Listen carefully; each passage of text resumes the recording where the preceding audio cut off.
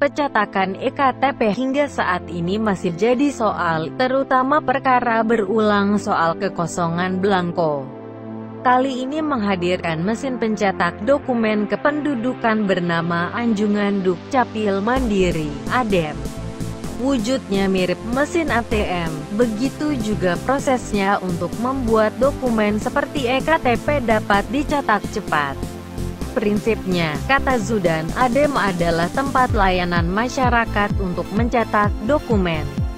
Melalui ADEM, masyarakat bisa mencetak sendiri EKTP, KIA, akta lahir, KK, atau akta kematian. Ada tiga model mesin yang disiapkan Dukcapil Kemendagri, namun fungsinya sama. Caranya, masyarakat yang ingin mencetak dokumen kependudukan datang ke Disduk Capil dulu untuk mendaftar atau meminta akses ADEM.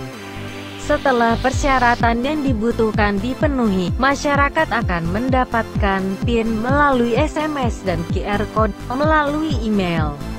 Nah, dengan PIN dan QR Code itulah dia bisa mencetak sendiri dokumen kependudukan yang dibutuhkan. Seperti ATM, mesin ini bisa jadi disimpan di beberapa tempat umum, tidak melulu di kantor Dukcapil. Cukup dari ADEM, tidak perlu ke kantor Dukcapil. Sistem bekerja dengan pengaman ANIK, PIN, dan QR Code, kata Zudan.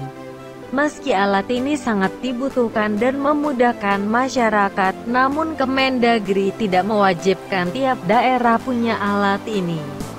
Banyak yang sudah mau beli. Saya yakin kepala daerah yang ingin memberikan layanan terbaik bagi masyarakatnya pasti butuh alat ini.